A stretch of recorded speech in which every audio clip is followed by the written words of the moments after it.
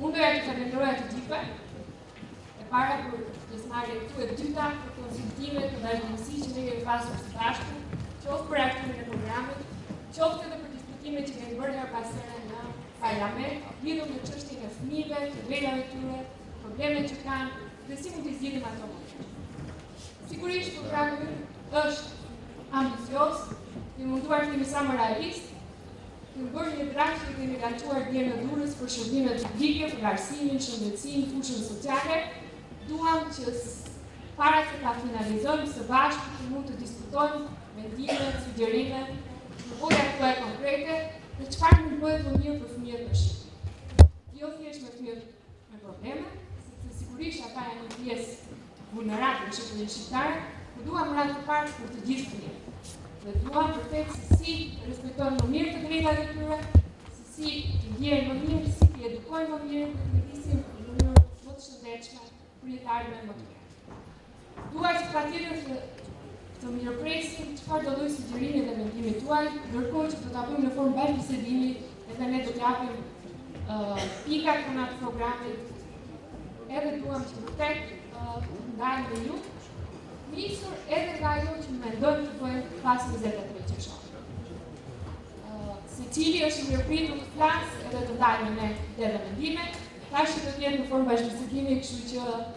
Ndërhyrjet tona lidhur me çështje të programit për fëmijët në shëndetësi, fushën sociale apo në arsim, do të jenë në vazhdimësi të diskutimit. Sigurisht në fund do flasë edhe kryetari i socialistëve lidhur me mënyrën se si Partia Socialiste trajton çështjen e fëmijëve dhe përqasjen që ne kemi zgjedhur për t'i parë ata vërtet si e ardhmja e vendit duke treguar edhe humanizmin edhe përgjegjshmërinë e një shoqërie vërtet demokratike.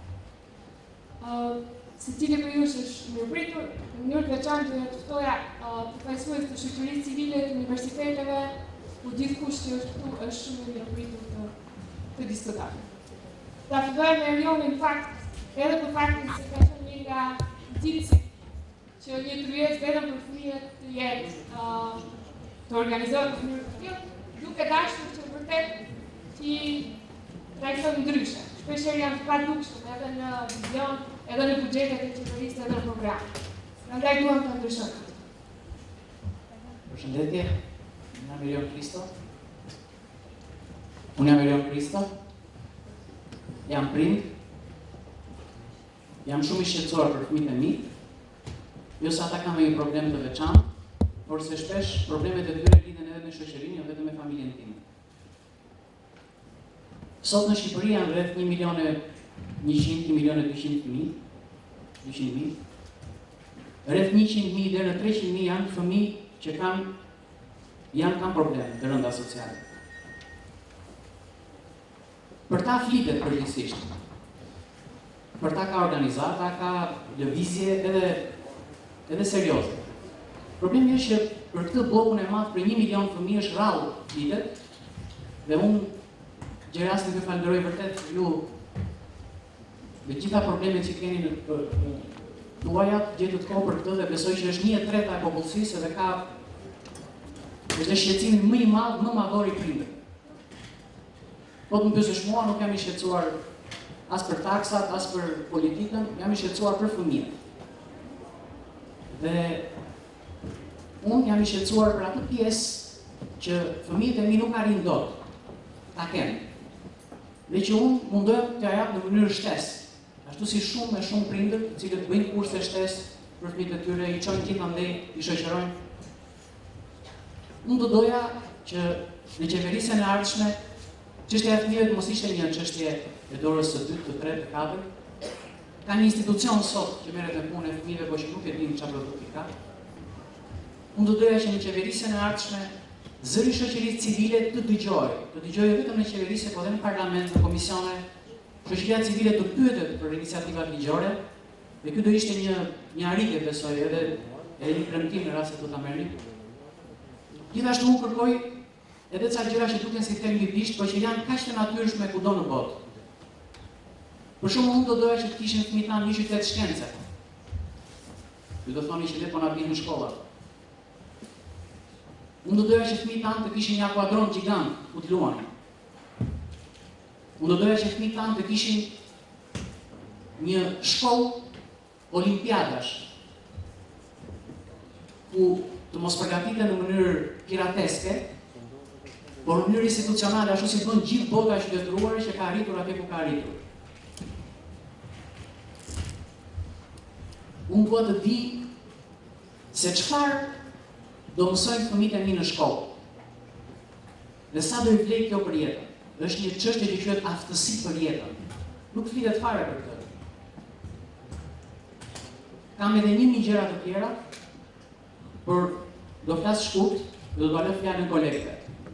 Ajo çka do doja të flisnim, ishte që ne, si shoqëri civile, si njerës që duam të jemi intelektualë, si prindër shumë të përkushtuar, duam që të kemi nga politika të njëjtën mbështetje, të njëjtën ndjesi dhe të mos jenë fëmijët të përfshirë në programe të tjera, po të ketë një njësi qendrore vetëm për këtë punë.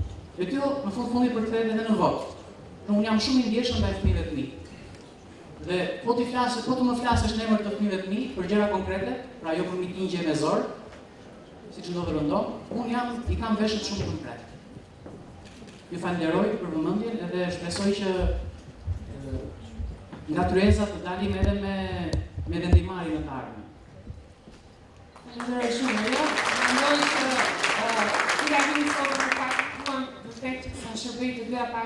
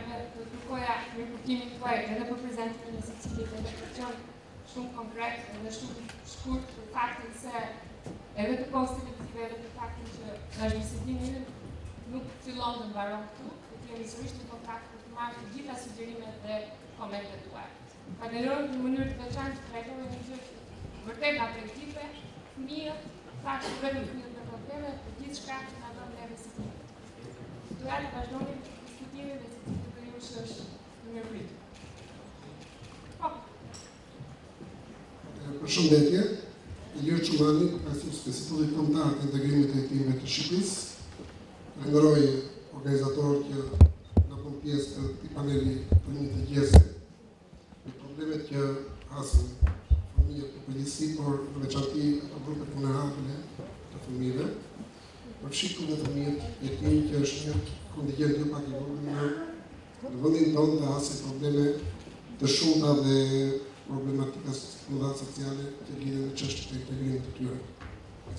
Do të dëshiroja të më mirëkuptonin të gjithë prezenca ime këtu është thjesht për kauzën që kam.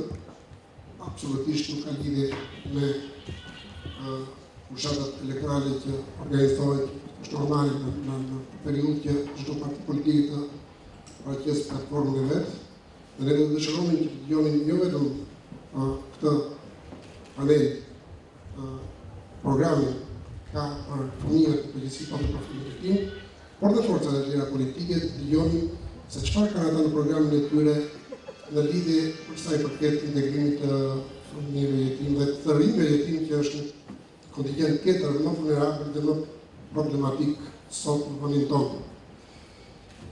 Dua të sjell në vëmendje të publikut edhe të politikës së Partisë Socialiste, faktin që fëmijët jetim në Shqipëri në këto vitet e tranzicionit, që është një tranzicion 22 vjeçar, tranzicion mendoj shumë i zgjatur dhe që nuk ka patur rezultate të dukshme për për problematikat e fëmijëve jetim, ka ndikuar shumë negativisht në çështjet e integrimit të të rinjve jetim, të fëmijëve jetim, sepse nuk ka pat një platformë të qartë. Në këto 22 vjet ne nuk kam dëgjuar në fushatat elektorale asnjë forcë politike të sjellë në fokus problematikën e fëmijëve jetim. Në strategjinë e këtyre forcave politike të programit të tyre, nuk kemi pa askënd të flasë në veçanti se ç'bëhet me këtë kontingent. Ndoshta vetëm për faktin sepse ka një arsye specifike, sepse fëmijët jetim në përgjithësi po dhe jetimët në veçanti të rinjtë kanë një karakteristikë të veçantë nga grupet e tjera targeti sepse ata janë njerëz që përshtaten me pozicionin e tyre fatal dhe e kanë kthyer në normalitet këtë lloj stigme që ka ardhur për shkak të keqqeverisjeve, për shkak të keqmenaxhimit të politikave të institucioneve përgjegjëse. Dhe për këtë arsye numri i këtyre fëmijëve rritet në progresion me problematikën e gjerë që kanë në drejtim të punësimit, të strehimit, të shkollimit të tyre dhe të shumë uh, problematikave të tjera që kanë. Sot në Shqipëri është numri i rritme relativisht është 31 mijë fëmijë jetim këtu.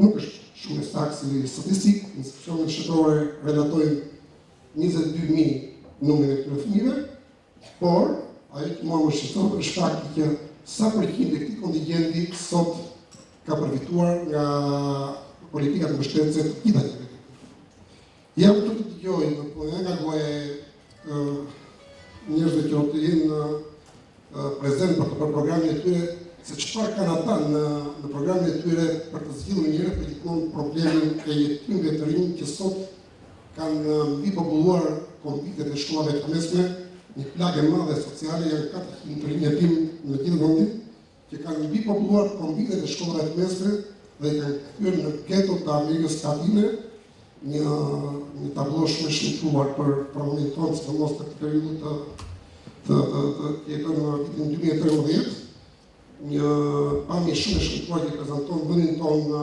mënyrë të padinjitetshme, kur flitet për të drejtat e njeriut dhe kur flitet për standardet që ne kërkojmë të arrijmë. Amnesty International, një organizatë shumë serioze dhe prestigjioze që është në mbrojtje të drejtave të njeriut, në mënyrë të vazhdueshme ka relatuar këto shtatë vjetët e fundit situatën dramatike të të rinjve jetimë që kanë mbipopulluar konviktet dhe nuk ka një plan konkret masash nga qeverisja vendore dhe nga pushteti qendror për të siguruar strehimin e këtyre të rinjve. Nuk bëhet fjalë për punësimin, nuk bëhet fjalë për për probleme dhe fasilitete që ligji i statusit të jetimit ua garanton fëmijëve dhe këtyre të rinjve dhe unë i propozoj kujtdo force politike që do vijë në pushtet, pikë së pari të hedhë vëmendjen te kjo kategori e cila ka nevojë për një riformulim të ligjit të ri të statusit të jetimit që të do të mund të garantojë të gjitha mundësitë dhe facilitetet që do të mundësojnë riintegrimin real të tyre.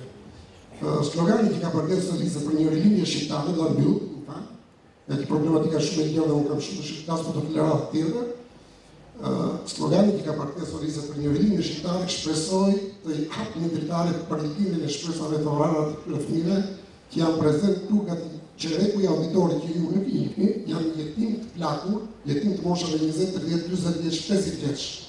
Dhe shpresoj, unë mendoj që Shpresoj që Partia Socialiste të ketë në konsideratë në programin e saj pikërisht integrimin e këtij grup targeti. Unë falenderoj.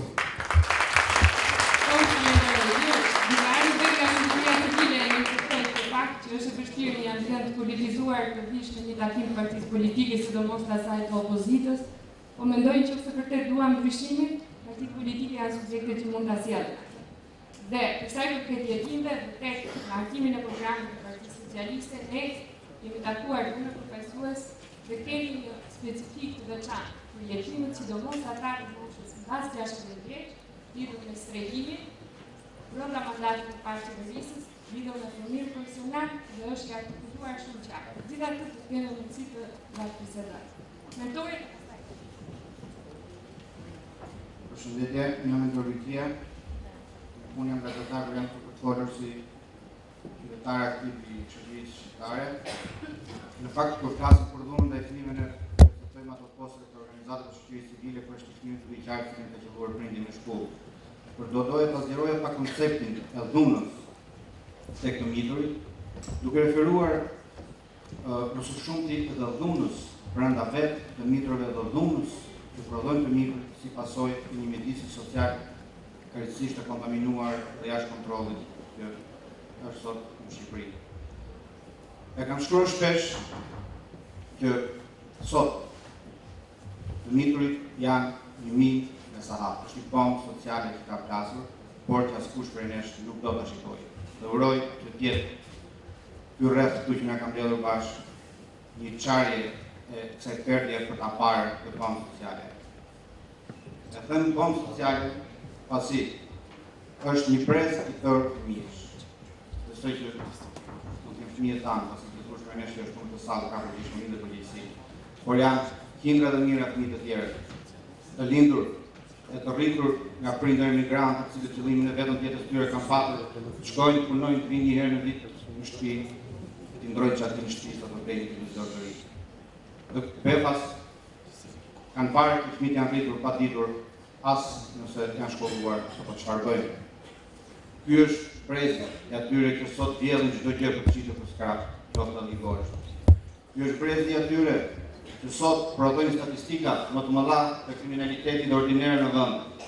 Vetëm për vitin që shkoi, brezi i të miturve ishte përgjegjës për rreth dyzet e pesë për qind të vjedhjeve ordinere. Sot ky brez është pa frikë një problem i madh social që ne e kemi lënë dhe nuk po e konsiderojmë. Duhet Patjetër të merret një vendim dhe ky është një propozim i imi për programin tuaj në këtë fushë. Vëruni kyçin lojërave të fatit për fëmijët. Vëruni kyçin të gjitha kthinave dhe skutave videogame që kanë gubruar dhe lulëzuar nëpër qytet në çdo qoshë pallati ku të miturit shkojnë, luajnë, zihen, kacafyten dhe çirren me thika që mbajnë nëpër xhepa. Mua Në Shtetet e Bashkuara nuk më lanë të futesha në një kazino se s'kisha pashaportën me vete dhe roja nuk ishte i bindur që unë isha më shumë se tetëmbëdhjetë vjeç, por nuk më la se s'kisha pashaportë. Ndërsa sot, në Tiranë dhe qytete të tjera, fëmijët dhjetë vjeç futen dhe vënë skedina. Futen dhe vënë luajnë lojërat e fatit ku lënë paratë dhe pastaj bëhen problematikë dhe prodhues veprash penale. Ndaj, vini rregull në këtë kaos. Nëse do doni realisht të prodhoni një situatë një mjedis social më të pranueshëm për fëmijët. Propozimi im i dytë, ose më saktë konstatimi i parë pastaj propozimi, po për dhunën ndaj fëmijëve, lidhet me kontaminimin politik të mjedisit ku fëmijët kalojnë pjesën më të madhe të kohës në shkolla. Them pa frikë që kanë mbetur vetëm shkollat tetë vjeçare, apo më saktë nëntë vjeçare, pa krijuar seksione të partive, pasi në shkollat e mesme tashmë janë krijuar. Bëni një standard. Qëndroni larg shkollës dhe lërini fëmijët të mësojnë. Kanë kohë të merren me politikë kur të jenë të përgjegjshëm për atë që duan të bëjnë. Ju siguroj që pjesa më e madhe e të miturve sot Nuk i njohin më shumë se gjyshërit e afërm të tyre që kanë emigruar, por ju siguroj që njohin fare mirë Edi Ramën, Sali Berishën, Ilir Metën dhe gjysmën e Parlamentit dhe kjo nuk është fare normale. Faleminderit.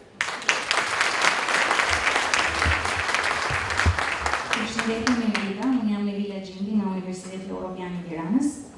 Realisht falenderoj organizatorët që na bënë pjesë të kësaj tavoline, po e quaj kështu në thonjëza. Së fundmi ne kemi marrë shumë ftesa të tilla, ndoshta është rasti që unë ta advokoj që universitetet të jenë pjesë e tavolinave ku diskutohen çështjet shqiptare, pjesë e tavolinave ku diskutohen strategjitë shqiptare, siç është për shembull edhe pjesa e platformës për përfshirjen sociale, ku fëmijët janë pjesë. Çështja tjetër që desha ta ngrej është çështja e fëmijëve të rrugës. Unë nuk po e ngrej krejt pa dashje, por universiteti është përfshirë në një projekt ndërkombëtar, i cili drejtohet nga financohet nga Universiteti i Friburgut në Zvicër, dhe është projekt rajonal, sepse problematika nuk është vetëm shqiptare.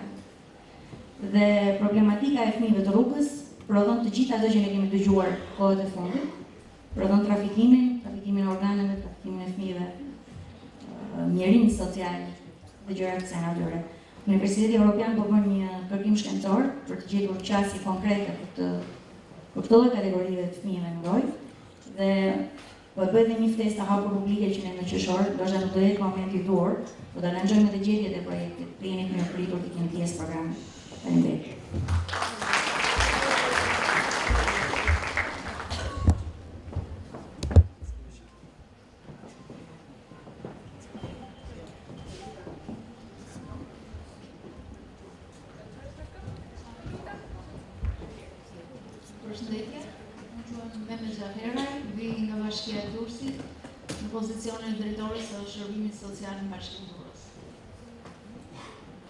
Qyteti në të cilin ne punojmë është një ndër qytetet e mëdha mbas Tiranës, çka do të thotë që është një qytet që ka një sërë problemesh sociale, ku ndër to janë dhe problemet e fëmijëve. Mbrojtja e fëmijëve është detyrë e të gjithëve. Por mbrojtja e fëmijëve të neglizhuar, të dhunuar, fëmijëve të rrugës, të pakicave që janë fëmijët egjiptianë dhe fëmijët romë është edhe një përgjegjësi edhe më e madhe dhe sidomos e ne si pushtet vendor apo qoftë edhe e qeverive në nivele qëndrore. Duke e parë nga ky këndvështrim, ne si pushtet lokal është krijuar njësia ndër, ndër të parat njësi, njësia për mbrojtjen e fëmijëve, e cila në fokus të punës së saj ka pasur fëmijët e rrugës, fëmijët që janë në situata të vështira dhune, është marrë me identifikimin e tyre, me mbështetjen e familjeve dhe sidomos me me sigurimin dhe vendosjen e fëmijëve kur ka qenë e nevojshme për për në institucione. por me të themi ka qenë një punë me shumë me shumë vështirësi, por kemi pasur mbështetjen e donatorëve si Terre des Hommes, UNDP-ja, UNICEF-i dhe mbi këtë punë të bërë janë ngritur si të themi sistemet e referimit, por ndërkohë është punuar edhe për reduktimin e braktisjes shkollore dhe aty është ndërtuar një sistem referimi me aktorë të tjerë lokalë në qytet dhe në bashkëpunim dhe me drejtorinë arsimore. Por, kam parë si vështirësi, ka munguar mbështetja nga pushteti qëndror, e them këtë gjë pasi nuk ka qenë mbështetja e duhur për për të punë ose njësinë e mbrojtjes së fëmijëve, pasi është shumë e rëndësishme. Ne kemi parë të domosdoshme pasi kjo strukturë u krijua për të qenë efektive, Trajnime të cilat i kanë ofruar organizatat dhe kanë qenë të domosdoshme. Kjo punë është bërë në krah gjithmonë me donatorët, qoftë puna në terren apo qoftë edhe në menaxhim deri dhe në sistemimin e, e institucioneve. Doja të theksoja që vështirësi tjetër është edhe Decentralizimi i cili është një proces jo i përfunduar plotësisht dhe kjo është një vështirësi tjetër. Ndërkohë shërbimet alternative, sidomos për fëmijë, për grupe të caktuara që janë të domosdoshme për fëmijët e rrugës, janë shërbime që kanë nevojë për mbështetje, pasi ne si pushtet lokal kemi qenë të parët që kemi ngrit njësinë për gratë e dhunuara, për mbrojtjen e fëmijëve, Projekte me PNUD-in për integrimin e komunitetit rom, pra kemi nevojë për një suport nga niveli qendror. Tjetër gjë do të thoja strategjia. Po. Po, strategji, mungon një strategji për fëmijët, e cila është e domosdoshme. Dhe kjo strategji që të jetë efektive duhet patjetër të të ketë të shoqërohet me me me një buxhet. Është shumë e domosdoshme. Në rast se ne angazhohemi të gjithë, atëherë ne fëmijëve tanë do t'i sigurojmë një fëmijëri që ata të gëzojnë ndërkohë fëmijërinë dhe të bëhen nesër të rritur të përgjegjshëm. Edhe diçka tjetër që është shumë e rëndësishme, nuk ka një analizë dhe mungon një database për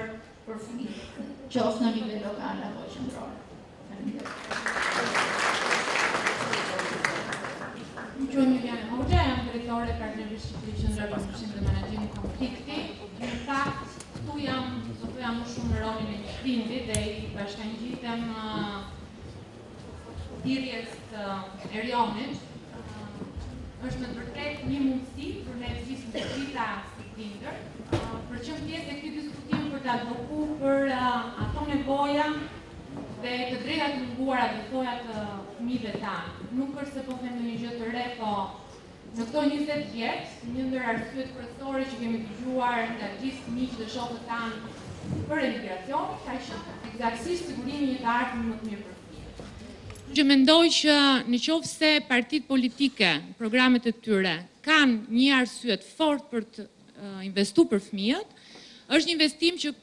përkthehet dyfish, sepse është për është një investim për fëmijët, por dhe për familjen. Pa dashur të përsëris parafolësit, po duke pas duke parë audiencën që më bën të ndihem komod midis kolegësh dhe njerëz të cilët kanë dhënë një kontribut të gjatë dhe shumë të vyer për sa i përket të drejtave të fëmijëve, doja të prekja vetëm dy çështje të shkurtra.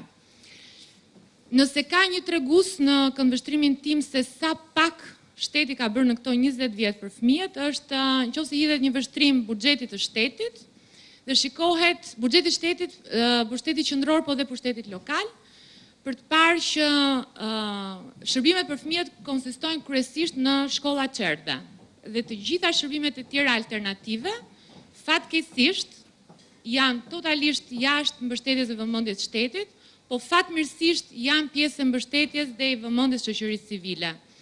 Dhe kjo është një thirrje dhe një mundësi dhe për Partinë Socialiste për ta parë shoqërinë civile si një aleat, po jo thjesht në nivel njohje vlerash, por them partnerë të mirëfilltë në ofrimin e këtyre shërbimeve që ndoshta edhe në disa diskutime u dol qartë që ndonjëherë shteti nuk i di, është dhe për mangësi shoqërisë civile se kush janë, kush është roli dhe shërbimet që shoqëria civile ofron në këtë aspekt. por si një partner dhe detyrim që shteti ka në ofrimin e këtyre shërbimeve ndaj fëmijëve. Do thoja është e pafalshme në 20 vjet pjesa më e madhe, nuk mund të them dot një përqindje të caktuar, po pjesa më e madhe e shërbimeve për fëmijët ofrohen nga organizata të shoqërisë civile nëpërmjet mbështetjes së donatorëve të huaj. Nuk e di se sa Shumë mund të zgjasë kjo gjë. Momenti i dytë, meqenëse u prekën shumë fëmijët në nevojë dhe këtu jam e ndjeshme sepse si një prind me një fëmijë i cili është i veçantë por në kuptimin ndoshta jo ashtu siç e e interpretojmë ne. Kur flasim për fëmijë të veçantë, përgjithsisht flasim për fëmijë me probleme. por nuk është totalisht e munguar sërish në këto njëzet vjet vëmendja ndaj fëmijëve me nevoja të veçanta, po që janë me zhvillim pak më të avancuar. Dhe fatkeqësisht në qoftë se flitet sot për sistem arsimor, për kurikula të specializuara për kategori të ndryshme fëmijësh, them kjo do ishte një investim shumë i madh që Partia Socialiste mund të bënte edhe si pjesë e programit për arsimin. Faleminderit.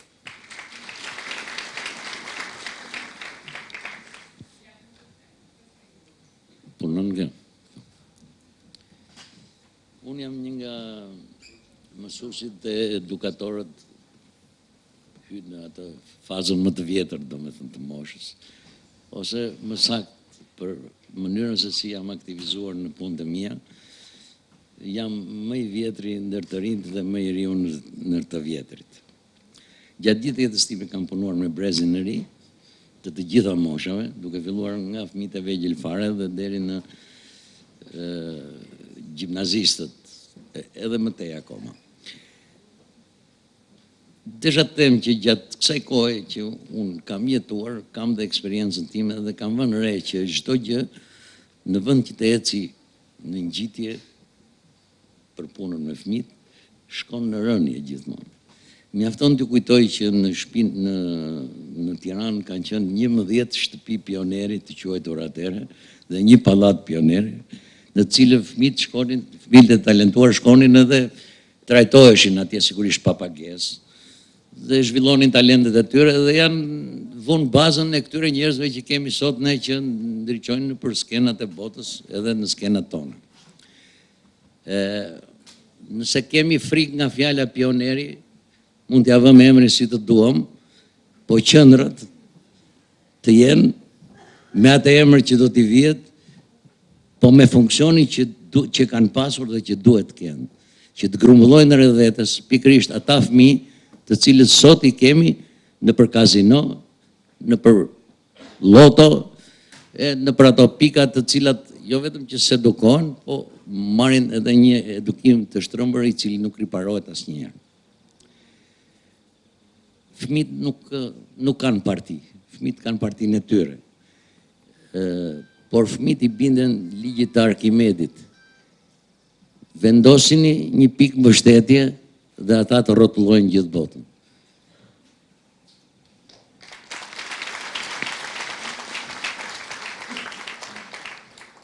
Mundem, okay. Uh, Blendi Salaj, uh, gazetar, desha që kam ardh këtu si prind sot uh, Dhe faleminderit për shtesën, po doja vetëm ta mbaja shumë shkurt dhe thosha diçka në lidhje me atë që mua më ka bërë përshtypje tek tek fëmijët dhe që mendoj që është diçka për t'u adresuar. Ë uh, fëmijët në semaforët e, e kryeqytetit, uh, që sa vinë edhe shtohen. Qoftë ata që lypin, qoftë ata që shesin gjëra. Kam përshtypjen unë në qoftë se e njeh pak atë teorinë e xhamave të thyer në kriminologji, thotë se në qoftë se ti e lën një godinë pa ia ndërruar ato xhamat kur i thyen, pa i vënë llampat kur digjen, edhe e lë ashtu në errësirë të pisët të paruajtur, atëherë ajo godinë mund të bëhet vend ku njerëzit pastaj shkojnë bëjnë përdhunime, bëjnë vjedhje, pra krimi fton krimin. Gjërat e vogla, ato që në dukje janë ndërrim llampe apo rregullimi i një xhami, mundet të shmangin pastaj pasoja shumë më të rënda. Dhe unë kam përshtypjen që edhe lajmet që kemi parë këto kohët e fundit lidhje me uh, fëmijët e abuzuar, tregojnë se si veprimet apo mosveprimet tona shumë shpesh uh, kanë ndikim shumë të madh tek tek fëmijët e të tjerëve. Dhe një gjë uh, që shpresoj se do të jetë do të jetë në vëmendjen tuaj gjithmonë kur unë pata rastin që kisha fëmijën për ta çuar në çerdhe, u ofrova tek tek çerdhet publike dhe sepse më këshilluan që më thanë se janë në një gjendje të mirë, janë janë janë të furnizuara me ushqime, kanë gjithë materialet. Por çfarë ndodhi ishte që në atë kohë ndodhi dhe 8 maj 2011 dhe pati një revansh që unë unë e dëshmova kur vajta atje që më thoshin po na heqin nga punët. Edhe m'u duk se kish arrit kulmin që mund të arrijë revanshi deri tek fëmijët. Të arrish të heqësh specialistët që kujdesen për ata që janë një deri në tre vjeç apo tre deri në pesë vjeç tregon që nuk ka limit. Kjo duhet të jetë diçka që merr fund në Shqipëri sepse nuk mund të bëhen ata ë vegla, një lufte politike apo çfarëdo qoftë që të fusësh njerëzit në punë e pastaj kjo rëndon si kosto mbi fëmijët. Sidomos ato moshat shumë të vogla. Maria Montessori që është një edukatore e jashtëzakonshme italiane e fëmijëve thoshte që mosha më e rëndësishme për të përgatitur një fëmijë është një deri në gjashtë vjeç dhe jo universiteti në shumë mënyra. Kështu që ne duhet të jemi shumë të kujdesshëm për atë fillimin e jetës së fëmijëve sepse ajo i bën ata njerëzit që do jenë gjithë jetës. Faleminderit. Faleminderit Blendi. Okej. Okay. Jepi fjalën ditë. Po. Bexhet Arbana, drejtori i Institutit EDA. edukimit drejt së ardhmes. Unë do të do ta nis bisedën duke marrë shkas nga fjala e shokut Zotit Kikia. Ë parmbrëmë në internet pash një faqe ë hartën e botës edhe ku jepeshin shtetet me rrezikshmëri të lartë. Në Europë, Shqipëria konsiderohej me një rrezikshmëri konstante, në ngjyrë të verdhë, nuk e di a e keni parë dhe ju kush e ka hapur internetin parmbrëmë, dhe kjo rrezikshmëri vendi i dytë ishte Moldavia, nuk ishte asnjë vend tjetër të Europës. Dhe kjo rrezikshmëri vjen sigurisht unë do ta lidhja me brezin e ri, që është më i predispozuar, më i ngacmuar, më i prekshëm ndaj ndaj krimit. Unë mendoj se tre komponentët më të rëndësishëm, që që është shoqëria, shkolla dhe familja, janë të tronditur rëndë në Shqipëri. është një, një do ta thoja një kolaps, për arsye sepse Nëse do t'i referoheshim shifrave, është shkolla jonë, është familja, po edhe shoqëria që po nxjerr një brez të ri me shumë të shumë të deformuar. Po të kemi parasysh në qoftë se dikush edhe mund të më korrigjojë, 30.000 prostituta nëpër shqiptare në Evropë, 30.000 të burgosur, 22.000 të droguar, rreth gjashtëmbëdhjetë mijë, tetëmbëdhjetë mijë jepet shifër zyrtare analfabetë, ne jemi një shoqëri e smurë. Pa llogaritur ushtrinë e madhe të lypsarëve që i kanë mbushur rrugët e qyteteve tona. Ë por ne gjithmonë i referohemi këtyre tre komponentëve, po harrojmë një gjë shumë të rëndësishme, shtetin. Shteti është monitoruesi, parandaluesi, nxitësi i gjithë jetës jo thjesht politike, po dhe jetës shoqërore, ekonomike në vend.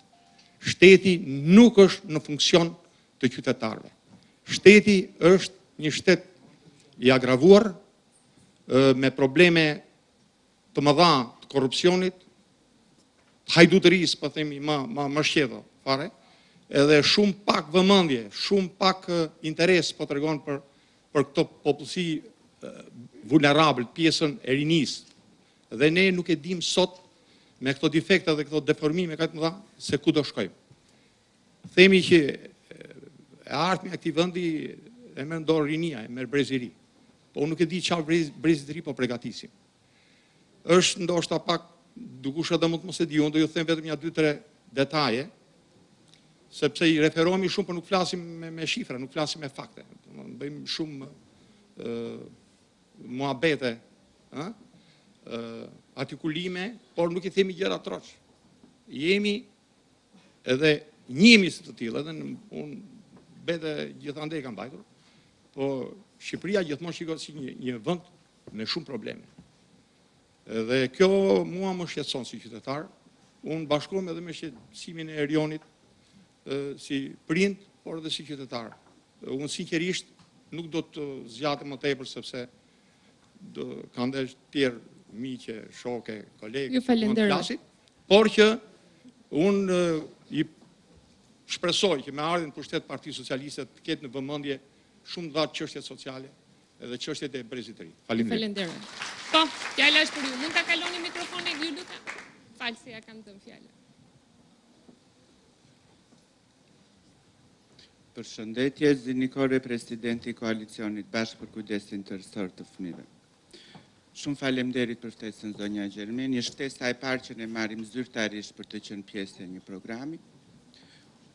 Kishim shpresuar se do ta mirnim që kur diskutohej për arsimin, për shëndetësinë, për çështje të sigurisë, sepse po flasim për fëmijët dhe janë përgjegjësia jonë, çdo i mitur nga zero në tetëmbëdhjetë vjeç është përgjegjësi e të rriturve, qofshin këta qytetarë të thjeshtë, qofshin këta politikanë, qofshin këta ekzekutues të politikave që kemi. Mendoj se ne nuk duhet të presim që fëmijët të kenë probleme që ne të ngrëjmë një sistem mbrojtës. Kjo është një përqasje që duhet, po duhet të jetë përqasje në nivel më të lartë. Duhet që ne të kemi një sistem parandalues. Ne nuk duhet të presim që një fëmijë të përdhunohet dhe ne të ngrëhemi në këmbë të gjithë sa të shqetësuar jemi. Ne nuk duhet të presim shifrat sa fëmijë nuk shkojnë në shkollë që ne të diskutojmë se ç'po ndodh në Shqipëri. Ne nuk duhet të presim sa fëmijë nuk trajtohen në shërbimin shëndetësor që ne pastaj të mendojmë. Ne duhet të kemi politika të qarta, të integruara për mbrojtjen e fëmijëve. Sistemi jonë duhet të ketë tre shtylla kryesore, parandalimin, mbrojtjen, integrimin. Në Shqipëri ka zhvillime të mira, është më në fund është miratuar ligji për mbrojtjen e fëmijëve, por kërkohet një zbatim tërësor i tij. Ne nuk duhet të ngrejmë një njësi për mbrojtjen e fëmijëve thjesht se na i kërkon ligji. Ajo njësi e mbrojtjes së fëmijëve funksionon në një ambient të caktuar. Do edhe një buxhet të caktuar.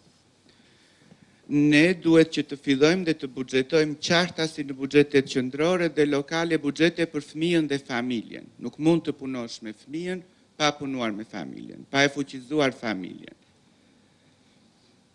Kemi konflikte midis ligjeve, urdhrave dhe Kushtetutës. Besoj se kushdo që do vijë në pushtet, duhet të ulet dhe t'i marrë shtruar. Ligji për mbrojtjen e të drejtave të fëmijëve nuk e detyron dot pushtetin lokal të ngrejë njësinë e mbrojtjes së fëmijëve sepse ai është i pavarur. Urdhrat e ministrave sot kërcënojnë hapur Kushtetusën. Kemi ligjin për shëndetin publik, është i një mijë e nëntëqind e gjashtëdhjetë e pesë-s, i referohet ende një mijë e nëntëqind e gjashtëdhjetë e pesë-s, të mitur quhet nga zero në katërmbëdhjetë vjeç. Që nga nëntori, dhjetor dy, një mijë e nëntëqind e nëntëdhjetë e një ne kemi miratuar dhe kemi bërë pjesë të Kushtetutës Konventën e të Drejtave të Fëmijëve. Kjo është vetëm njëra nga mangësitë. Mendoj se duhet të rritet pjesëmarrja e fëmijëve në politikëbërje.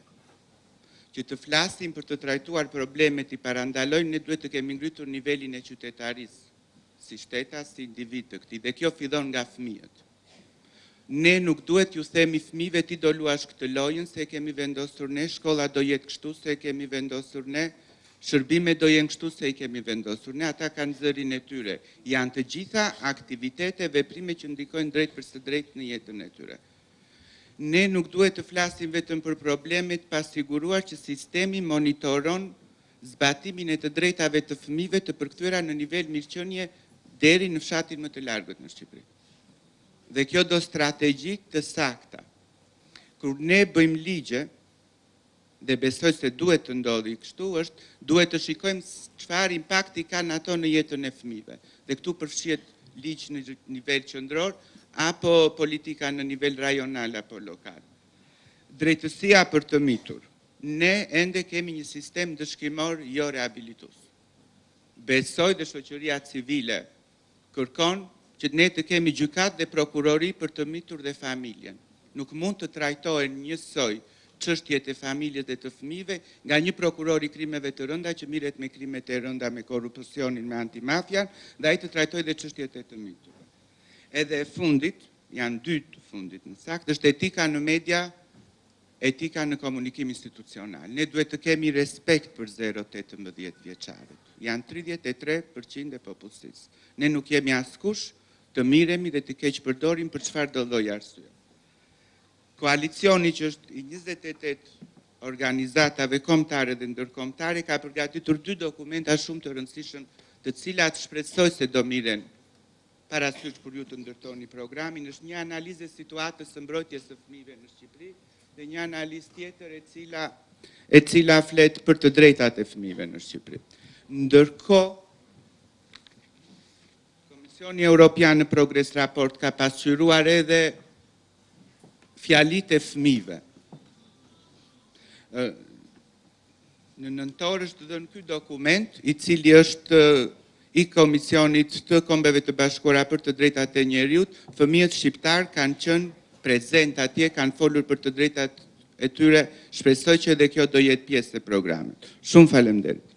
Falenderoj shumë, sidomos për sugjerimet konkrete, edhe për punën e gjithë organizatave të koalicionit tuaj. Doja t'ju garantoja për bashkëpunimin, gjë që e kemi filluar që në parlament, Në çdo seancë dëgjimore që kemi bërë, kemi marrë gjithmonë mendime dhe sugjerimet tuaja dhe pjesa më e madhe e raporteve dhe analizave kanë qenë pjesë e diskutimit të programit. Po sërish jemi shumë të hapur për të na i dhënë ato që ta finalizojmë së bashku. Faleminderit. Profesor Fatmiri dhe pastaj do e jap fjalën oh.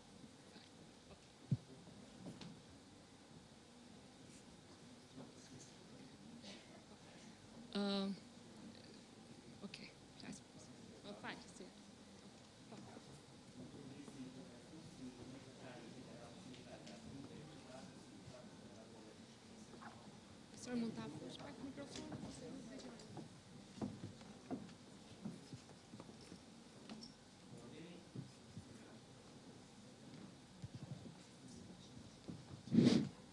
Problemi i fëmijëve është një problem kompleks në fakt edhe kërkon masa komplekse kërkon masa në sistem. Edhe Federata Sindikale e Arsimit sigurisht që ka pas pro, programe për trajnimin e mësuesve dhe trajtimin e fëmijëve në disa zona të vendit, por gjithsesi rritja e cilësisë së jetesës dhe e edukimit të fëmijëve është një problem i cili do pa në kompleks. Shpesh janë bërë ndërhyrje të pjesshme, por ato nuk japin rezultat nëse të gjitha ndërhyrjet nuk shikohen në sistem. Tre janë problemet kryesore ku do ndërhyrë. Janë problemet ekonomike, janë problemet sociale dhe probleme të vetë sistemit arsimor. Nëse do të nisemi nga problemet ekonomike, unë do ndalesha që një fëmijë i cili nuk është ushqyer, nuk mund t'i kërkosh të shkojë në shkollë. Pra, mendoj që duhet të krijohet të si të dalë minimumi jetik i, i, i popullsisë, të ketë një asistencë e cila të jetë në minimumin jetik, të jepet asistenca prindërve që janë në nevojë, ata prindër cilët janë në, në, që përmbushin kriteret e asistencës dhe kjo asistencë jepet me kusht që fëmija të shkojë në shkollë. Por, nëse nuk rritet niveli, ai nuk e përfill këtë dhe nuk e çon fëmijën në shkollë. Duhet të bëhet i ndjeshëm ky nivel që ai të detyrohet të çojë fëmijën në shkollë. Gjithsesi, pra në planin ekonomik duhen parë probleme të strehimit, kryesisht për romët të cilët jetojnë siç ne të gjithë e njohim situatën, probleme të mbështetjes me libra jo vetëm të romëve, por edhe kategorive të tjera të margjinalizuara dhe pse jo dhe probleme të mbështetjes me ushqim të këtyre kategorive të margjinalizuara. Nëse do flasim pastaj në planin social duhen hartuar programe, programe për dhunën në shkollë, e cila të, të bëjmë dhunën në shkollë dhe dhunën në familje që ekziston, programe programe të tjera sociale për të mbështetur fëmijët që janë në nevojë sociale, fëmijët e emigrantëve, fëmijët jetim, fëmijët me aftësi të kufizuara, të cilët kanë nevojë për t'u mbështetur. Gjithashtu do ndalim dhe te, te problemet ekonomike. Më falni, te problemet arsimore. Lidhur me problemet e sistemit arsimor, duhet parë që nxënësit, ne ta kthejmë shkollën në të tillë që nxënësit të shkojnë me qejf në shkollë.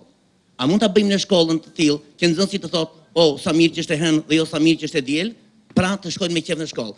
Dhe kjo vjen kur filozofia e shkollës, kurrikulat e saj bëhen të tilla që nxënësi të të, të ndihet i qetë në shkollë, kur filozofia e shkollës të jetë humane më shumë se sa shkencore.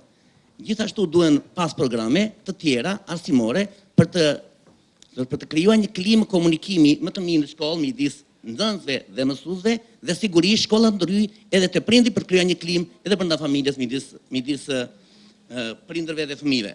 Gjithsesi unë do të mendoja që ajo që theksoi dhe parafolësi që fëmijët duhet të jenë pjesë e vendimmarrjes. Por jo vetëm fëmijët meqë janë të vegjël, po pjesë e vendimmarrjes do të jenë dhe prindërit për fëmijët të cilët janë një kategori më e vogël që nuk janë të aftë për të marrë vendime fëmijët e arsimit parashkollor apo fëmijët e arsimit fillor. Pra, rritja e fuqizimit të prindërve në vendimmarrje në hartimin e politikave arsimore dhe sociale, sigurisht dhe vetë fëmijëve do të jetë një gjë që do të japë rezultat në punën e fëmijëve. Faleminderit. Ju falënderoj, profesor. Në fakt, dua ta vazhdojmë bashkëbisedimin. Tani ia jap fjalën kryetarit të Partisë Socialiste Edi Rama për përqasjen e Partisë Socialiste për fëmijët dhe do ta vazhdojmë sërish. Faleminderit për praninë tuaj. Unë do doja ta filloja këtë fjalë timen me një pyetje që e bëj shpesh vetes po që e pata gjithë kohës parasysh duke dëgjuar ju. Ju vërtet mendoni që varfëria ekonomike është arsyeja Pse sot Shqipëria është në këtë gjendje dhe pse fëmijët sot kanë gjithë këto probleme që ju shprehët? Sigurisht që varfëria ekonomike është një problem shumë i madh dhe Shqipëria është një vend i varfër. Është vendi më i varfër i Europës. Por Duke vazhduar arsyetimin, unë do ju ftoja që të parafytyronim për një moment një kullë në një fshat të Shqipërisë në veri njëqind vjet përpara. Sigurisht që nga pikëpamja ekonomike nuk mund të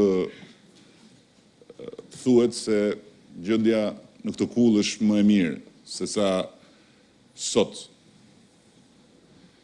Atëherë pse fëmijët e asaj kulle janë më të edukuar? Pse fëmijët në atë kullë dinë si të sillen me më të rriturit, dinë se çfarë duhet të bëjnë gjatë ditës, Dinë se cilat janë vlerat dhe parimet e familjes ku ata kanë lindur dhe po rriten në fshatin e tyre pa lidhje fare me botën. Shqipëria më e varfër ka qenë Por Shqipëria më e çoroditur nuk ka qenë asnjëherë. Dhe për këtë mjafton të shikojmë se me çfarë ballafaqohemi sot. Në kushtet kur normalisht me të drejtë do të mendonim që për shkak se Ka kaq shumë instrumenta në dispozicionin tonë, ballafaqimet me plagët sociale do duhet të ishin shumë më të tolerueshme. E kundërta është e vërtetë. Shikoni arkitekturën, shikoni si ndërtojnë sot shqiptarët dhe si ndërtonin njëqind vjet përpara. Kush ju duken më të bukura, shpitë e vjetra të Himarës apo shpitë e reja pa leje? Si ka mundësi? Shpitë e reja pa leje i ndërtojnë njerëz të cilët kanë parë edhe botë me sy. Shpitë e vjetra i kanë ndërtuar njerëz të cilët s'e kanë parë kurrë botën përtej fshatit të tyre. Dhe me radhë, në të gjitha aspektet e këtij mozaiku krahasimor kohësh, ne jemi detyruar të gjejmë se çfarë realisht sot e bën kaq të vështirë dhe kaq të komplikuar situatën sociale në Shqipëri. Se është e lehtë të flasësh dhe të thuash duhen strategji, duhen buxhete. Shqipërisë nuk i kanë munguar strategjitë, përkundrazi Shqipëria besoj, besoj unë, në Europë, ku është vendi që burokracia ka arritur nivelet e veta më të larta, Nuk ka aq strategji saç ka në Shqipëri nga pikëpamja e çfarë është e shkruar në letër. Në Shqipëri ka strategji të panumërta të shkruara në letër, madje në Shqipëri është i vetmi vend që unë njoh ku brenda një force politike, Brenda një mandati qeverisës, dy ministra të ndryshëm në një ministri kanë dy strategji të ndryshme që janë dy rrugë krejtësisht ndryshme zhvillimi të një fushe. Buxheti. Shqipëria ka një buxhet kufizuar dhe do ta ketë një buxhet kufizuar, nuk do ketë Shqipëria dot në të paktën një gjeneratë tjetër, një buxhet të atillë siç e ka Franca apo siç e ka Gjermania që t'i lejojë vetes lluksin që me buxhetin të zgjidhi problemet. Por, nga ana tjetër prap nuk është buxheti problemi. Një mjek në një qendër shëndetësore më tha Në dy mijë e gjashtën kishim një buxhet të barabartë me buxhetin që kemi sot. Si shëndetësi flas. Për qendra shëndetësore. Në dy mijë e gjashtën kishim shërbim 24 orë, në dy mijë e gjashtën kishim ambulancë, në dy mijë e gjashtën kishim mjetet e nevojshme, kishim ilaçet, sot s'kemi asnjë nga këto. Buxheti është i njëjtë, të paktën në letër. Dhe pyetja pastaj që pason është çfarë duhet ndryshojë? Ne nuk mund të dorëzohemi përpara këtij realiteti dhe nuk mund të pranojmë këtë si një fatalitet. Por e vërteta është që çorodia shkon duke u pështjelluar gjithmonë e më shumë, ndërkohë që përgjigja nuk është, besoj unë, Tek varfëria, përgjigja nuk është as tek buxheti, përgjigja nuk është as tek strategjia. Në të treja këto aspekte Shqipëria sot ka më shumë se ç'kishte njëqind vjet përpara. Ka më shumë se ç'kishte pesëdhjetë vjet përpara. Ka më shumë se ç'kishte edhe njëzet vjet përpara. Po Shqipëria sot është më e çoroditur sesa njëqind vjet përpara, sesa pesëdhjetë vjet përpara, sesa njëzet vjet përpara. Dhe i ka këto probleme shumë më të thella dhe shumë më të egra se sa ç'i kishte njëqind vjet, pesëdhjetë vjet apo njëzet vjet përpara. Shqipëria sot ka përballë një një të panjohur shumë të madhe. Të panjohurën e çfarë do të jetë Shqipëria kur këta fëmijë që sot rriten në këtë çorodi do duhet të marrin në dorë jetën e tyre, nuk po them fatet e vendit, jetën e tyre. Çfarë do të jetë Shqipëria në shërbimin shëndetësor kur këta studentë që marrin diplomën sepse paguajnë dhe që nuk marrin mësim do të jenë mjekët e Shqipërisë nesër. Dhe kështu me radhë në të gjitha aspektet për të mos shkuar pastaj aty ku është pika më e dobët te mësuesit. Sot kemi një sot kemi në mesatare dhe besoj biem dakord, nivelin më të ulët të mësuesisë që Shqipëria ka pasur qysh se ka pas mësues. Nuk e ka mësuesi i sotëm i klasës parë në Bathore asnjë shans që të krahasohet me mësuesin e klasës parë në Dhërmi apo në Shkodrën apo në Durrësin apo në Beratin apo në Voskopojën e njëqind viteve përpara. Nuk e ka. Nuk është, është i pakrahasueshëm. Për nga dija, për nga edukata, për nga autoriteti.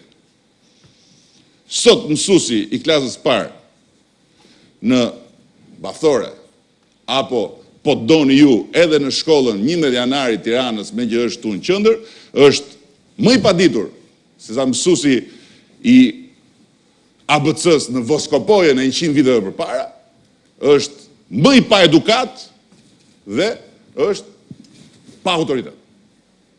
Ky është fakt. Dhe nga ana tjetër, sot ne kemi një shkollë ku politika po hap një zgavër shumë të madhe.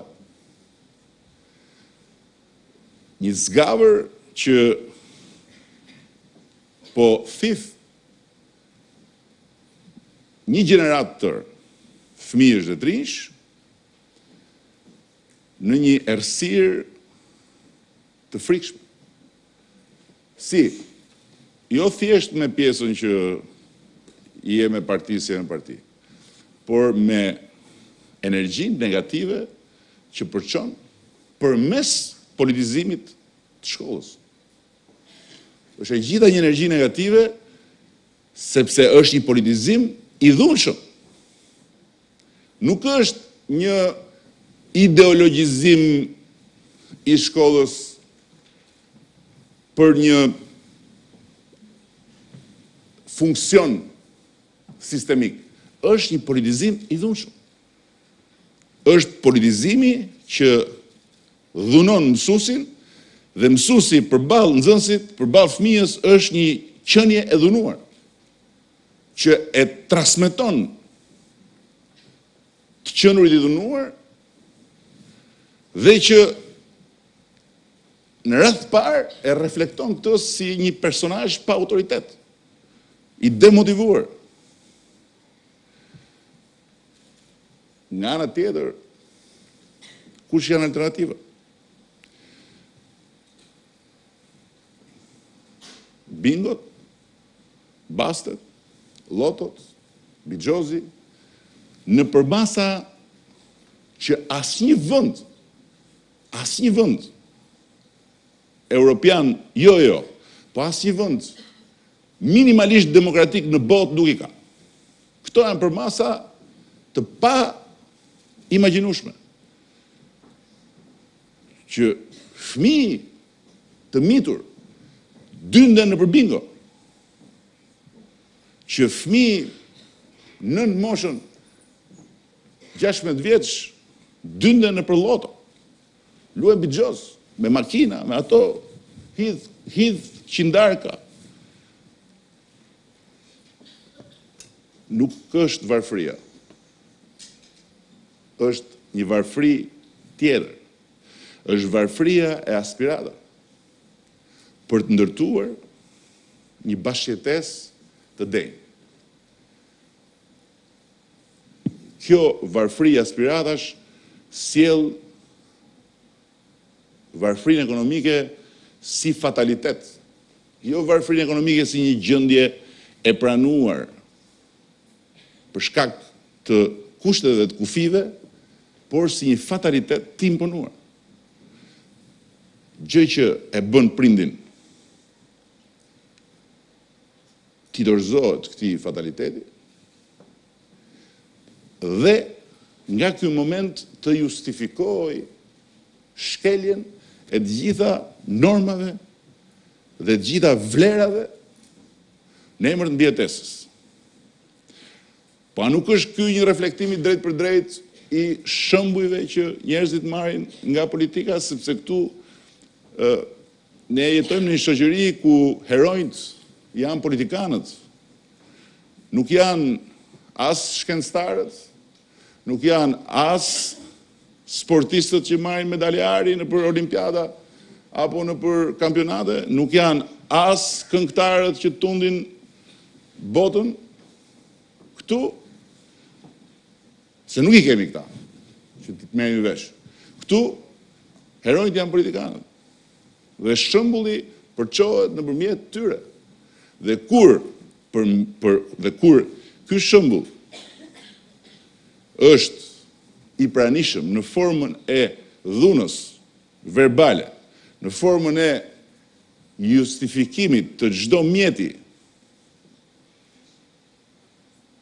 Për të realizuar qëllimin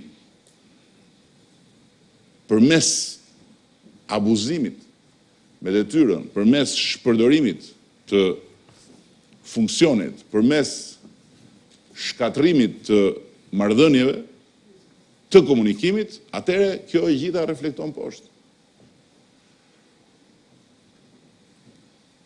Është shumë e rëndë dhe shumë serioze kjo temë për të qenë një moment dhe për të thënë ne Partia Socialiste do bëjmë këtë e do bëjmë atë.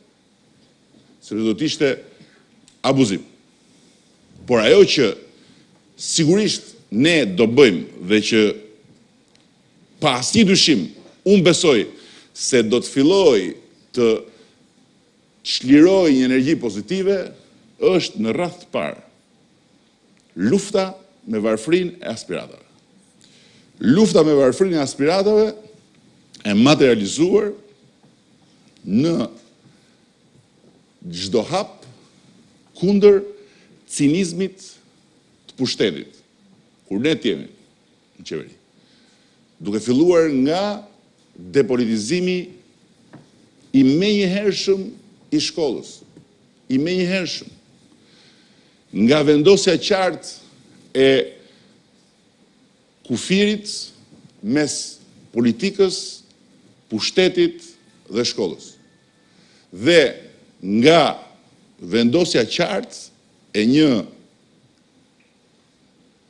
rruge përpara nesh ku çdokush që do të ngarkohet me edukimin e fëmijëve si mësues do duhet të kalojë jo testin e besnikërisë ndaj partisë, po një test të hartuar mbi kritere profesionale dhe të administruar jo vetëm nga ekspertë, por dhe nga prindër.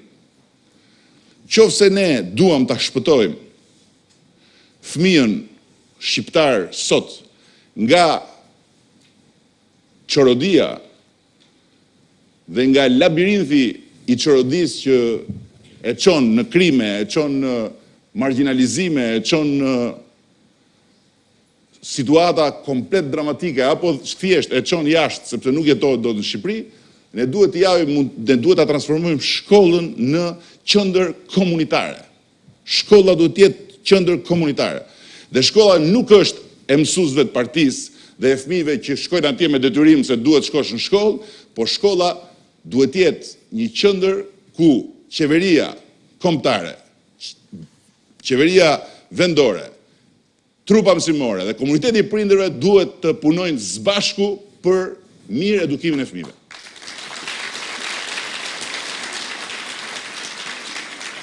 Dhe për këtë arsye duhet që të nxisim komunitetin e prindërve, po them të shkollës njëmbëdhjetë janari, nuk e di pse më vjen njëmbëdhjetë janari vazhdimisht, Ndoshta nga që është ë?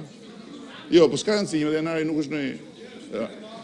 Shkollës 11 janari. Që ë lidhet ndoshta me idenë e Republikës.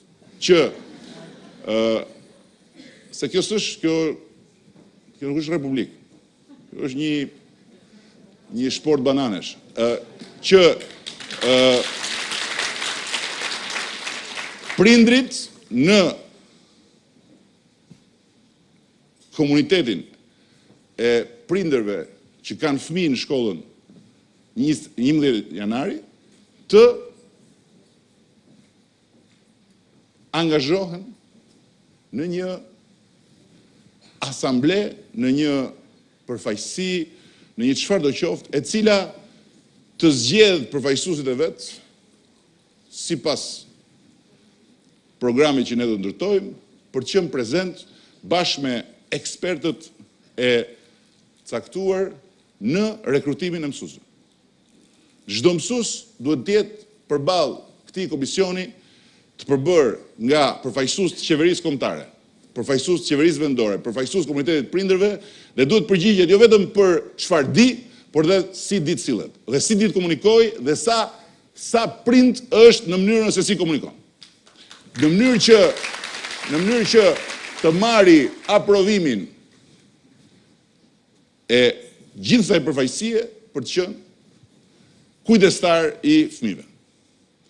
E para. E dyta, shkolla duhet të informojë me shkrim, jo të informojë me shkrim, në mënyrë të rregullt çdo prind, çdo familje për fëmijën, për ecurinë në mësime, për ecurinë në. procesin e edukimit për vijën e sjelljes dhe për gjithë atë problematikë që konstatohet gjatë kalimit të kohës së fëmijës në këtë qendër komunitare. Një herë në dy muaj, një herë në tre muaj, një herë në gjashtë muaj, kjo nuk është një gjë që vendoset sot, por që duhet të jetë në kontakt të vazhdueshëm me shkrim. Dhe çdo fëmijë duhet të ketë duhet të ketë historikun e tij të shkruar, të arkivuar në shkollë. Dhe nga çdo klasë, hap pas hapi, ky ky historik të kalojë nga një mësues ke tjetri, nga një grup mësuesish ke grupi tjetër i mësuesve që ta dinë se me kë kanë të bëjnë. që t'i trajtojë fëmijët si subjekte individuale, jo si dele që vijnë futen atje brenda edhe i rri bariu me me shkop kur bëjnë be be be. Dhe madje as bar nuk kanë, po rrinë në thatë, në kuptimin e edukimit. E treta, mësuesi mbas çdo viti duhet të kalojë testin. Ka qenë i suksesshëm apo i pasuksesshëm? E ka përmbushur apo jo misionin e tij dhe a e meriton apo jo rikonfirmimin nga kjo trupë? Dhe kjo trupë Dhe kjo trup duhet garantojë që pushteti për arsye politike të mos futet dot në oborrin e shkollës. Kurrë. Dhe që mos të ketë më mësues që t'i thuhet shiko paraqitu te sheshi Nënë Tereza se do shajmë opozitën dhe po s'ishe Do të heq nga puna.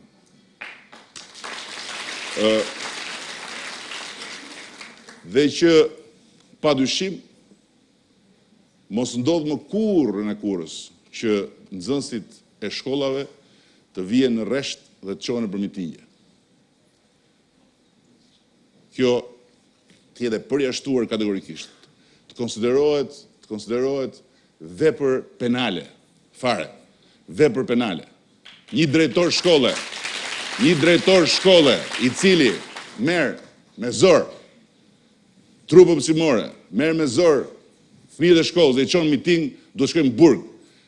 për krim jo të trajtohet si militant i zoti që mbledh njerëzit edhe të mbahet aty e pra kjo është rruga duke kuptuar dhe një gjë tjetër që këta fëmijë dhe këta të rinj nuk mundet dot të na ndjekin ne në strategjitë dhe në seriozitetin tonë Shumë herë të mërzitshëm, mësoni, mësoni, mësoni, mësoni, në qoftë se ne shkollën e shohim vetëm si një qendër për të mësuar. Qendër komunitare do të thotë që shkolla duhet të krijojë kushte edhe për jetë komunitare përmes sportit, përmes artit, përmes aktiviteteve sociale, përmes shërbimit në komunitet. Kur do t'ja mësojmë ne, kur do t'ja mësojmë ne të rinjve shqiptarë vullnetarizmin? Kur?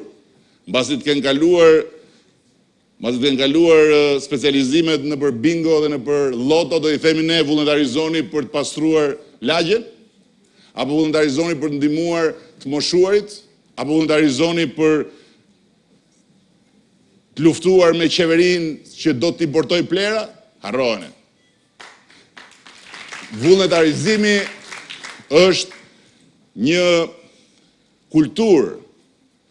Është një kulturë që duhet mbjellë tek më të vegjlit. Ashtu sikundër qarkullimi është një kulturë që duhet mbjellë tek më të vegjlit. Se nuk ja mëson dot rregullat e qarkullimit një njeriu që i duket vetja hero kur i shkel ato.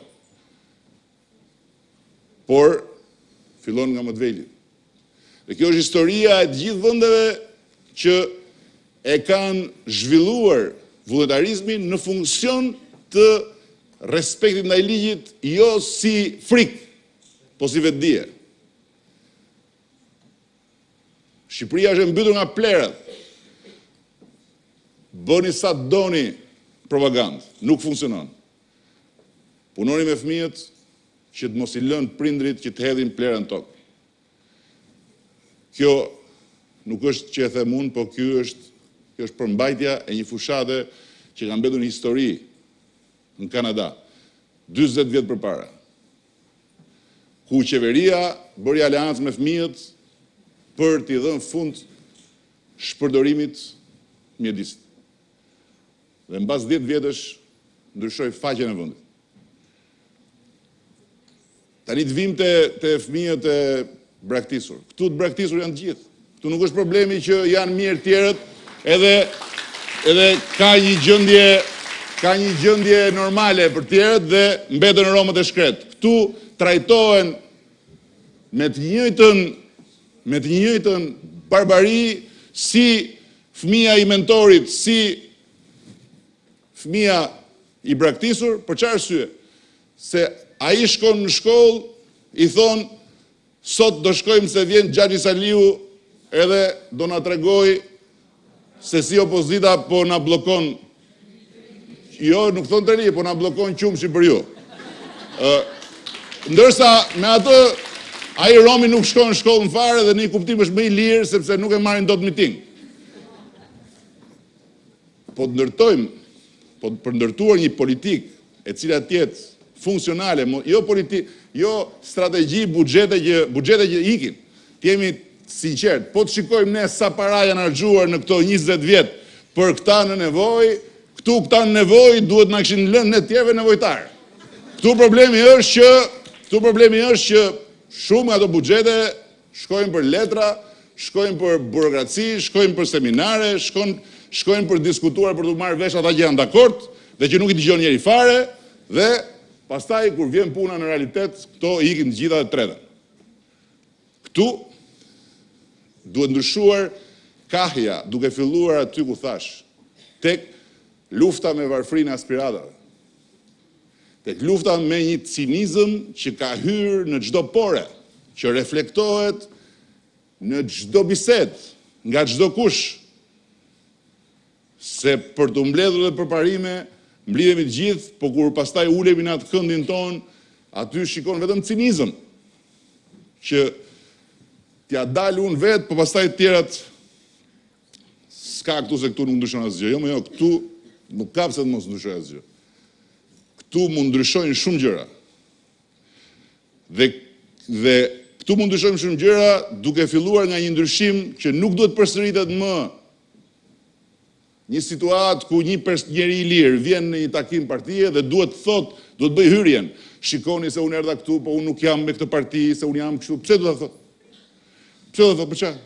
Sepse, normal, kush e shef në televizor, nga zyrat e qeverisë thotë po ky, ky është ai që merr fonde për jetimët, ah mirë, ia tregojmë ne këtij, meqë ky shkoi ke opozita. Kjo duhet të marri fund. Dhe duhet të garantohet çdo njeri që jo kur jep mësim, jo në oborrin e shkollës, por në kohën e lirë të shkojë të takohet me opozitën të bëjë ça të dojë. Është liria e tij. Dhe mos mos ndëshkohet pse u takua me opozitën. Ose kryetari i opozitës nuk takon dot mësues në detyrë Në një rreth si ky, nuk e nuk e bën dot ndonjë mbledhje me kaq shumë mësues që të jenë në shkollë, jo që të jenë të hequr nga puna. Për dy arsye. Për dy arsye. Ti mos fol se mund të heqin. Për dy arsye. Arsyeja e parë është që mësuesit në shumicë janë janë me teserën e partisë në pushtet, dhe arsyeja e dytë është që ata që nuk janë kanë frikë. Është normale. Kanë frikë se do i heqin nga puna. Po ka turp më të madh se ky? Po me kë do flasi? Opozita. Dhe në emër kujt do flasi opozita në parlament ose në debate në qoftë se nuk është në gjendje të ketë një komunikim normal me të gjithë grupet shoqërore dhe me ato që në radhë të parë kanë të bëjnë drejtpërdrejt me mënyrën si menaxhohet buxheti i shtetit. Si mundet që mos mos komunikojë dot opozita me mjekët? Po në të komunikojnë në mënyrë normale. Si mundet dot që universitetet të mos kenë në kohën e tyre të lirë takime me politikanë të të gjitha krahëve dhe me përfaqësues të opozitës. Pastaj se kush shkon në atë takim dhe kush e dëgjon kryetarin e opozitës apo cilindo qoftë nga opozita, atë e vendos interesi që kanë studentët. Jo, shkon kryeministri në një universitet, lë universiteti punën, lënë mësimin dhe dalin dhe duartrokasin kryeministrin, ndërkohë që kryetari i opozitës nuk i afrohet dot universitetit. Çfarë është kjo? Kujt i shërben kjo? Me kë komunikojnë mësuesit? Me kë komunikon pedagogët e universitetit? Kujt i flasin? Çfarë për për duartrokitur kryeministrin? Kjo do kjo duhet të ndryshojë. Se duke duke çliruar këto rrugë komunikimi, ne fillojmë të çlirojmë energjitë konstruktive dhe fillojmë luftojmë varfërinë e aspiratave, se fillojnë njerëzit të flasin dhe fillojnë rriten rriten pritshmëritë e thëna, jo pritshmëritë e pathëna.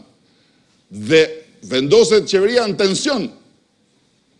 Sepse duhet të ketë të bëjë me grupe me njerëz, po jo me grupe me njerëz që domosdoshmërisht duhet të bëjnë grevë urie që të dëgjohen. Ose duhet i vënë flakën vetes se s'i dëgjon njeri. Po me grupe dhe me njerëz që janë rrogëtarë në shërbimet publike, në shërbimet e të njëjtit publik. Këtu si do rregullojmë ne gjendjen e fëmijëve Kur kemi gjendjen e prindërve kaq të rëndë demokratikisht dhe psikologjikisht, pa çliruar prindërit do shpëtojnë fëmijët ne? Po si do e bëjmë këtë gjë? Si ndodh kjo? Si ndodh kjo? Kur i thot, kur fëmija i vogël dëgjon në shtëpi babain që i thot nënës, kujdes, Se mos thua ndonjë fjalë, se me rrogën tënde po jetojmë. Ça mendon ai i shkreti?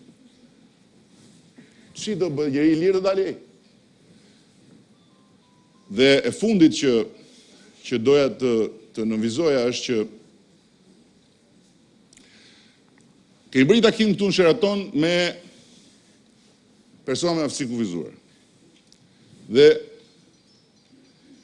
Unë nuk besoj që ka grup shoqëror apo grup interesi, si të doni quajeni, që të jetë në gjendje më të keqe në pikëpamjen e përveç atyre jetimëve pesëdhjetë vjeç, që dhe ata janë prapë dëshmitarë të një varfërie të madhe aspiratash të vetë politikës dhe të qeverisë, se Të shkojë njeriu pesëdhjetë vjeç dhe të thotë pse nuk më mbani, se unë jam jetim, kjo nuk shkon.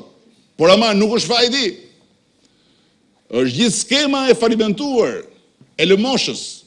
Jetimët po, kanë një lëmoshë që pastaj kur buxheti është i shtrënguar s'e japin fare, personat me aftësi të kufizuar kanë një lëmoshë, ndihma ekonomike, Një lëmoshë për njerëz që janë normal, që mund të shkojnë në punë, mund t'i shërbejnë komunitetit, mund mund të bëjnë gjithfarë gjërash, jo, i japin atë dyzet mijë lekshin e vjetër, që në që ose kthehet në taksë të votës, i thonë prit një herë të të shohim a do votosh apo jo që ta marrësh, edhe ia bllokojnë gjashtë muaj, ose në një peng.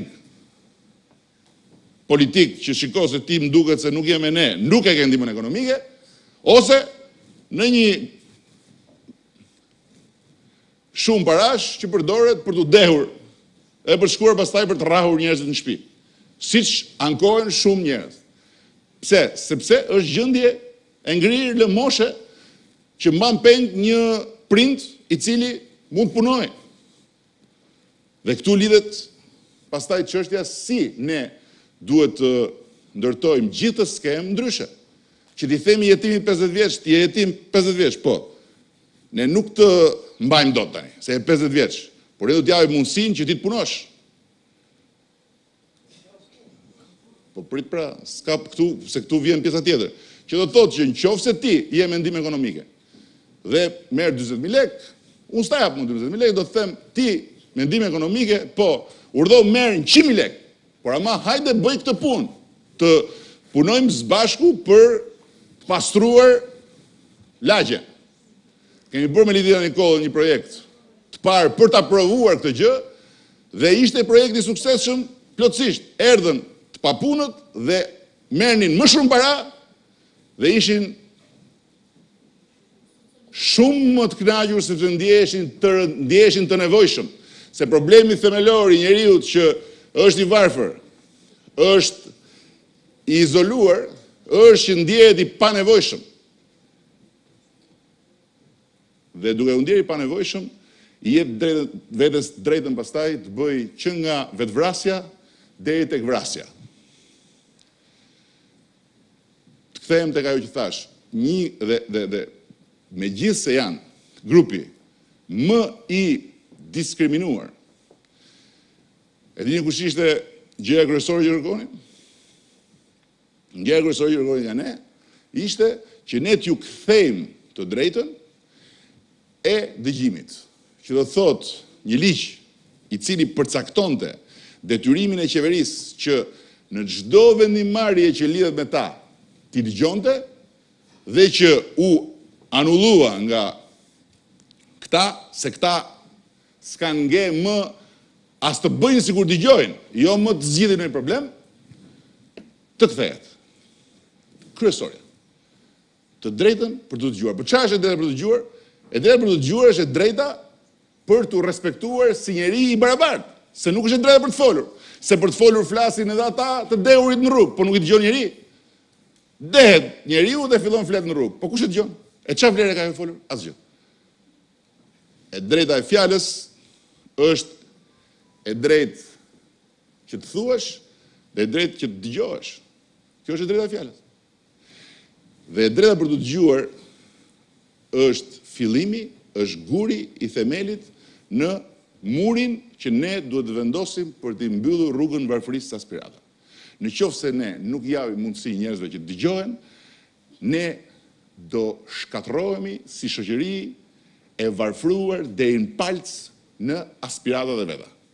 Dhe do të jemi një xhungël ku secili bën çfarë mundet për të mbijetuar, duke filluar nga një klient i qeverisë që bëhet miliarder tek një i varfër që vret veten, por ama të gjithë në një betejë individuale në një xhungël ku fiton më i forti, dhe ku më të dobëtit detyrohen ose të vegjetojnë njësoj si pemët duke pritur nga qielli që të bjeri shi ose të vetëasgjësohen. Dhe kështu rritet numri i vetëvrasjeve, rritet numri i krimeve, rritet numri i i i i barbarizmave, Shqiptarët kanë vrarë dhe janë vrarë edhe në të shkuarën.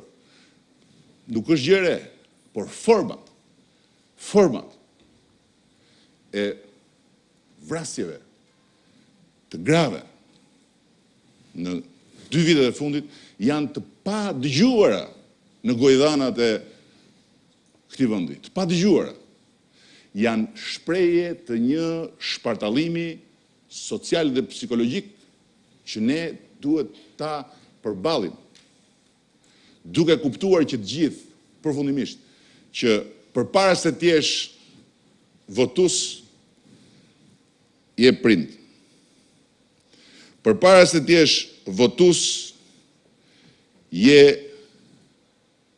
Njeri që ke disa kërkesa që nuk lidhen me ty personalisht, por lidhen me kushtet që ti duhet të kesh për t'i plotësuar ato kërkesa. Përpara se sa të jesh votues, je burrë ose grua, je i moshuar ose i ri, je pjesë e një grupi apo e një grupi tjetër interesi dhe janë këto që e përcaktojnë votën tënde. Ekzigjencat e tua si prind, ekzigjencat e tua si njeri me disa kërkesa që duhet të t'i plotësojnë, ekzigjencat e tua si përfaqësues i një grupi shoqëror apo grupi interesi që duhet të mbrohet dhe që ti vetë nuk e mbron dot. Dhe kur ti këto i harron dhe thua unë do t'i rri besnik partisë time edhe sikur partia ime të na çojë në asfalt atëherë ti meriton asfaltin. Kjo është e gjitha. Në qoftë se ne duam ta nxjerrim këtë vend nga kjo vorbull çorodie vrastare, ne duhet t'i japim fund tifozllëkut partiak. Atij tifozllëkut verbër që i lidh njerëzit me partinë, siç lidh tifozët me skuadrën e futbollit. Skuadra e futbollit loz me top, loz ditën e diel, Mund të fitojë, mund të humbasi, mund të shkojë në kategori të fundit, mund të zhduket fare siç u zhduk Lokomotiva, ti mund të thuash unë jam me Lokomotivën, Teutën nuk e njoh fare, ose unë jam me 17 Nëntorin, Tironën nuk e njoh fare dhe ty nuk të gjen gjë. Por partia politike në pushtet nuk loz me top futbolli. Partia politike në pushtet luan me fatin tënd në qoftë se ti Votën e përdor si biletë për të shkuar në stadium dhe për të parë a do fitojë apo s'do fitojë skuadra jote e futbollit. Dhe njerëz që thonë që ne nuk i dorëzohemi komunistave sot në shekullin e njëzet e një dhe jetojnë në mizerabilitet social, jetojnë të tradhtuar nga mëngjezi deri në darkë me vite të tëra në ato kërkesa minimale që kanë. Jetojnë në një shpi që ju është thënë ta gëzoni njëzet vjet dhe nuk e gëzojnë dot se kanë ankthin do na e prishin s'do na e prishin do na vijnë s'do na vijnë do na hyjnë s'do na hyjnë do na e marrin s'do na e marrin dhe prap votojnë po aty atëhere meritojnë këtë stres dhe këtë ankth por ç'është më e keqja harrojnë se janë prindër dhe se fëmijëve të tyre Po u lënë pas mallkimin e të qenit tifoz të nji partie në pushtet që i shef jo si njerëz, po i shef si zgjedhës.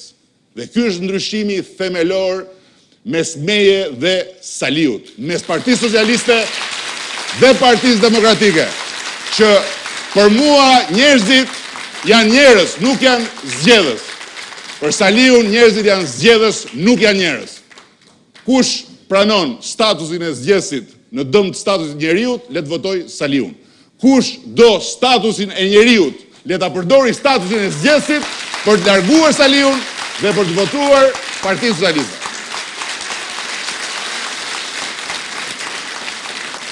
Shumë faleminderit. Dua ta falenderoj kryetarin për këtë fjalim inspirues. Po, duke qenë se dua të vazhdoj mendimin që u tha për dëgjesën, dua t'ju garantoj për diçka. E para, gjithçka që është thënë këtu është mbajtur shënim nga Linda dhe programi i Partisë Socialiste i tëri, po në veçanti kapitujt për shërbimet publike janë në faqen e internetit të Partisë Socialiste dhe ne mirëpresim deri në datën 10 prill komentet, sugjerimet tuaja përmes kontakteve që kemi. Ë uh, programi do dali finali në fund të prillit. Po sigurisht do jap fjalën Enkelejdës dhe dikujt tjetër që ja premtova se nuk dua ta mbyllim këtë pjesë.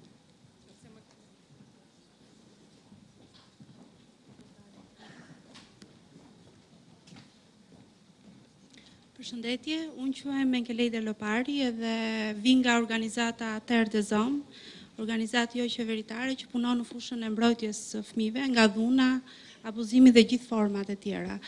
Ju përgëzoj sigurisht për këtë konsultim që i dedikohet fëmijëve dhe që shpresojmë ta shohim në vazhdimësi nga të gjitha partitë apo qeveritë, kushdo që të vijë. Dhe sigurisht edhe si prind dëshiroj të jap disa mendime dhe sugjerime, por mbi të gjitha si profesioniste në në këtë fushë. Në fakt, edhe në vazhdimësi që të rekomandimeve që kolegu im dha, Zino, ne punojmë çdo ditë me rastet e fëmijëve që janë të abuzuar. Ë jo më larg se dje ë kemi pasur disa raste ë, shumë ekstreme. Dhe në fakt, ë ajo që na tregon sigurisht është që realiteti është më i pasigurt dhe do jetë më i pasigurt për fëmijët, për fat keq.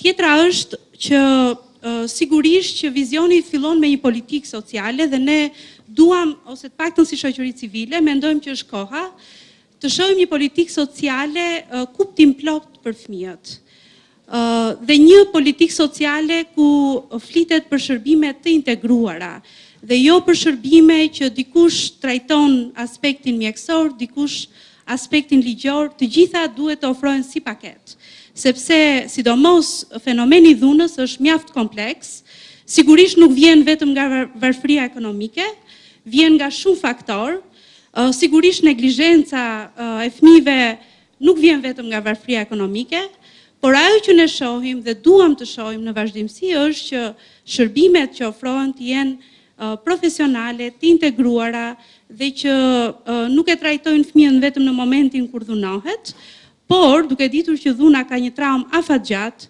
duhet të jenë shërbime afatgjata.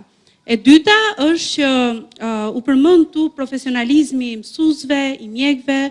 Uh, unë doja të ngrija uh, me po aq forcë duke qenë që vij nga fusha e shërbimeve sociale, uh, Ne do donim të do dëshironim të shihnim më tepër punonjës social, profesionistë, psikologë, të cilët merren në mënyrë profesionale me shërbimet, qoftë në nivelin lokal edhe në nivelin qëndror. Tjetra është që një kërkesë që ne kemi është që pranë avokatit të popullit duhet të ketë një person për fëmijët, Pra duhet të ketë një avokat për fëmijët. Sigurisht që është bërë goxha shumë këto kohë dhe nga avokati i popullit dhe në drejtim të fëmijëve, por si shoqëri civile ne mendojmë që fëmijët duhet të kenë zërin e tyre po aty. Një tjetër pikë e fundit është, në fakt është e para, është regjistrimi i fëmijëve. Ne ende nuk kemi një sistem të informatizuar, pra ne ende kemi fëmijë që janë në situatë rruge, Dhe ata nuk janë as lypsa dhe as fëmijë rruge, ata janë fëmijë. Kemi fëmijë që vdesin dhe nuk dihet se ku janë sepse janë të paregjistruar. Dhe këtu fillon respektimi i të drejtave të fëmijëve, që ata të njihen si qytetarë. Gjithashtu dua të ngre dhe çështjen e shërbimeve të specializuara dhe modeleve alternative sepse Modeli ose alternativa më e mirë sot për sot për fëmijët që janë në rrugë, që abuzohen, janë institucionet. Në fakt, institucionet duhet të jenë alternativa e fundit, ë dhe jo e parë. Ktu po e mbyll dhe ju falenderoj.